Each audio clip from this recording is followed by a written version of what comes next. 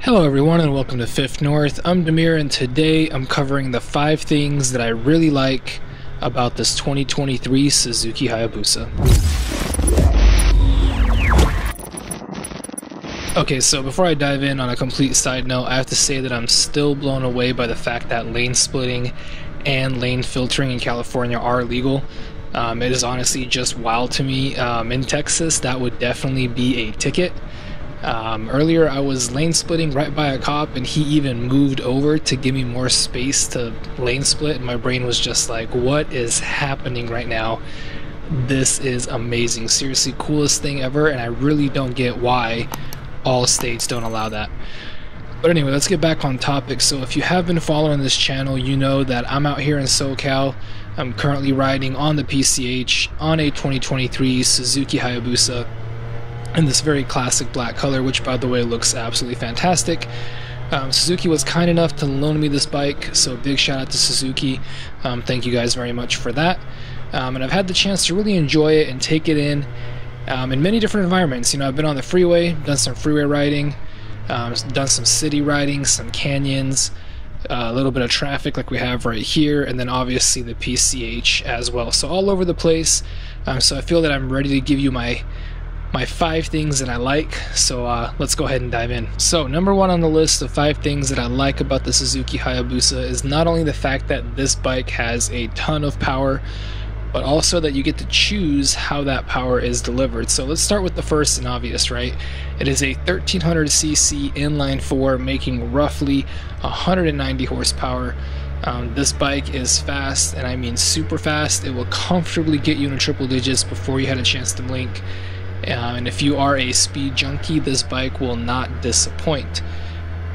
Passing, merging onto the freeway, and just having fun during spirited rides is just effortless for the Busa. All right, now that we got a little bit out of that traffic, um, at no point in any situation during my time with this bike did I ever feel like it needed more power. It just simply doesn't. It's fast, and I absolutely love it. But with that being said, you don't always ride flat out, right? At least I don't. Um, also, some high power bikes are just too twitchy with the throttle. Uh, the throttle input's just kind of like every little bit just wants to rip your head off, right? And so, because of the high horsepower count, you have to be very careful. But that's not the case here, right? With the Busa, the power is really linear, and the acceleration input, especially when you put it into B mode, is just comfortable. It doesn't have that quick jerk reaction to acceleration, and I like that. Um, honestly, I absolutely love that. The fact is that I can have a comfortable bike for cruising or touring, more on that later, um, or for commuting, right, when I want to, and then I can also have a crazy speed missile when I want to as well, all from the same bike. To me, that is just awesome. Alright, so moving on, number two on my list of five things that I like about the Suzuki Hayabusa. I just touched on it, and that is the touring ability. I mean, it's just insane. In one day, I've actually done over 300 miles on this bike, and for those of you who ride, you know that's a lot of miles. Um, but for a sport, a super sport, or a hyper sport bike, that is really a lot of miles. I mean, I'm not on a cruiser or, or a touring bike here, I'm on a performance weapon, and yet I am still comfortable. I am not fatigued, I am not sore, I am literally good to keep going. Now, honestly, it's unreal to me how comfortable this bike is. I actually rode this Busa back to back with one of Suzuki's own touring bikes, and I have to say there wasn't a huge difference in comfort. Now, that isn't a knock to the touring bike, that is just how good this Hayabusa is. Again, in the previous item, number one on the list, I mentioned that the Hayabusa was in a way like having two bikes. A bike that is super fast, powerful, and sporty, yet can comfortably cruise around town from a power and speed perspective. Well, the same is true from a comfort and handling standpoint. Um, I mentioned it in my previous video when discussing my first ride on how much the Hayabusa surprised me and how I completely misjudged this bike and the more miles I put on it, the more that becomes true. And uh, I'm not really feeling this red light here, so let me go ahead and squeeze up to the front again. I love doing this. Ooh, that sounds nice. Come on, green light. Alright, let's go see if we can catch up.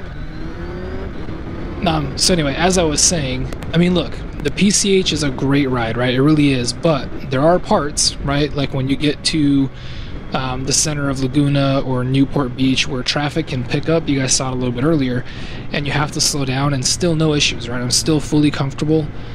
That is an absolutely beautiful view. I, I honestly, you guys, like riding up and down this road, I, I'm just like enjoying it way too much to the point where I'm like, ooh, squirrel. Like, what was I talking about? Let me just go back to staring at the ocean for a few minutes here, and uh, I'll try to remember what it was that I was talking about. Right, so I was saying that when you get into the center of, say, Laguna or Newport Beach, um, where traffic can pick up, you do slow down, and it's still no issues. I'm still fully comfortable.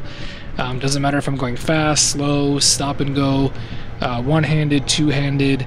Uh, it really just doesn't matter. The Busa is just super comfortable. So it's really, to me, it's just truly impressive.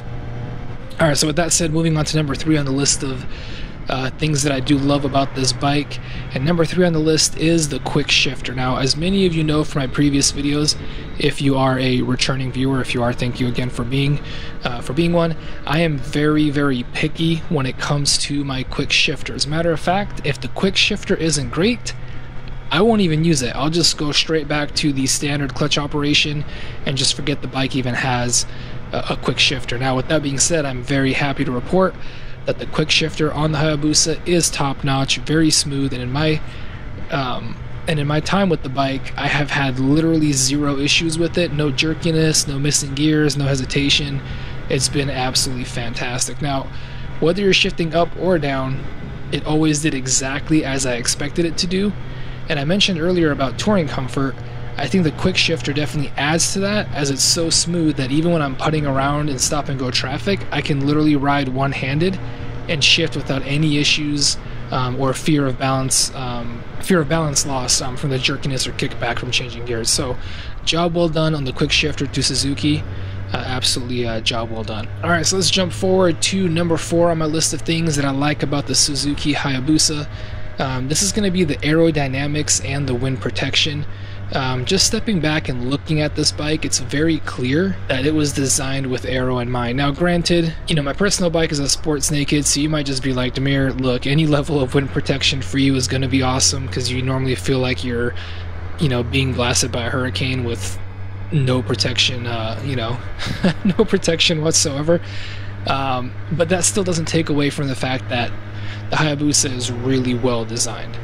So, like I was saying, um, it, it, the Hayabusa really is that well, uh, that well designed. And, and when I took it out on the freeway and I put some twists to the throttle, I really didn't feel like much wind at freeway speeds.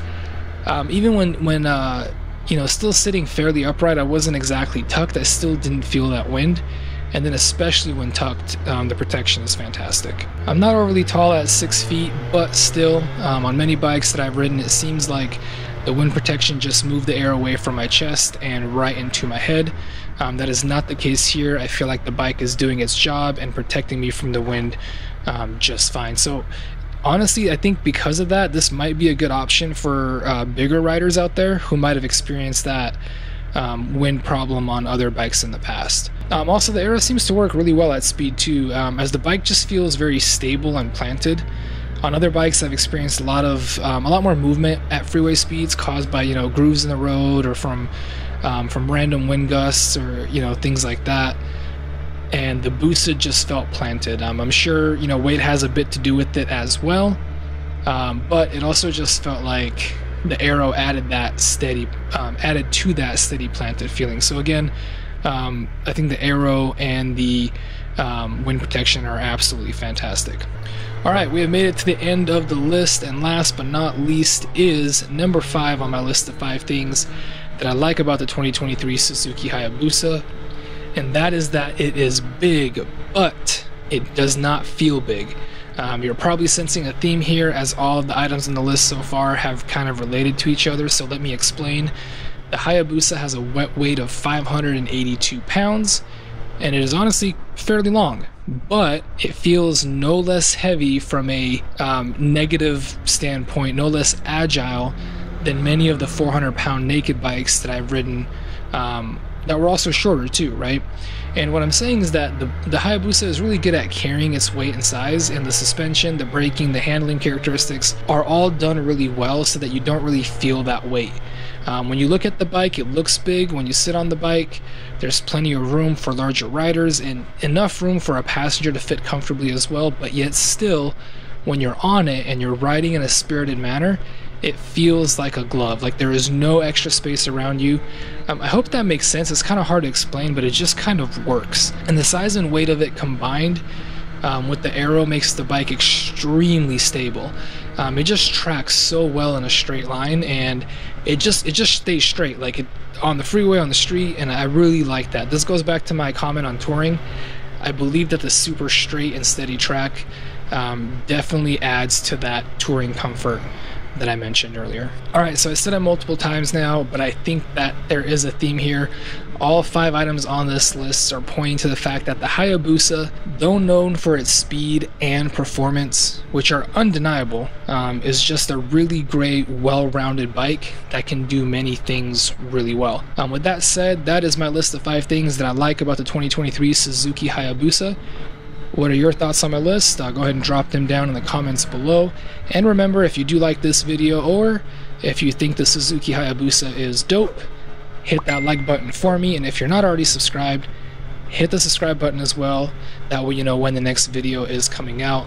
Um, speaking of next videos, lots more bike reviews coming up, as well as some great gear reviews.